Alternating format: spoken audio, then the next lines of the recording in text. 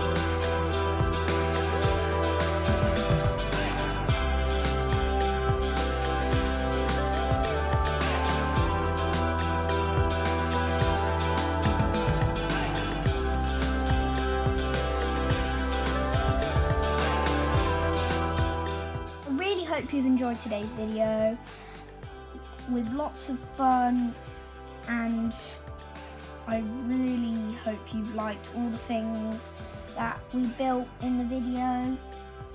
So, um, also I wanted to put out, I, if you like these, my content and these kind of videos, just subscribe so you can help beat the copy. Also, I recommend checking out the new short that I made on some red squirrels that I found at Brownsea. But further ado, without doubt, I really hope you enjoyed today's video. Like and subscribe, ring that notification bell. 5 million subscribers and I'll do a face reveal.